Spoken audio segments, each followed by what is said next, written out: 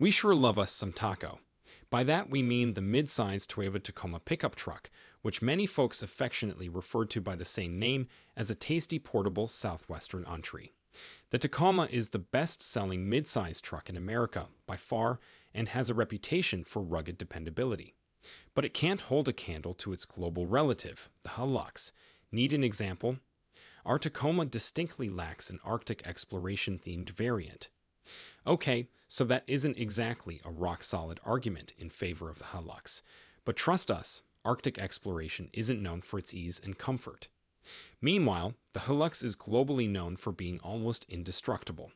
This reputation comes in part from Arctic Truck's 30 years of experience building Arctic exploration rigs out of Hiluxes, including the famed Hilux featured on the British Top Gear show that made it to the magnetic North Pole. Has a Tacoma been there?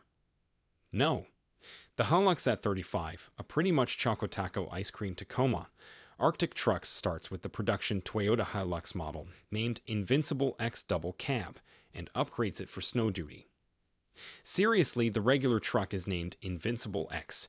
You don't give a truck a name like that and let it go out into the world and fold like a paper crane at its first encounter with an active volcano or the Arctic or what have you.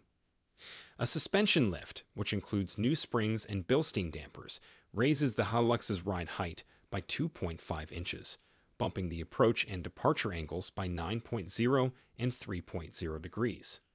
The AT35 part of the name carries overlapping references to, we presume, Arctic trucks, 8, as well as the Hilux's all-terrain tires, of which the AT35 receives an impressive set.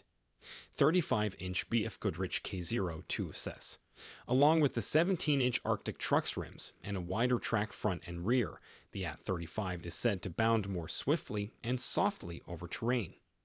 To fit the new rolling stock, Arctic Trucks also fiddles with the Hilux's frame and wheel wells. This isn't just a lift kit with some big tires.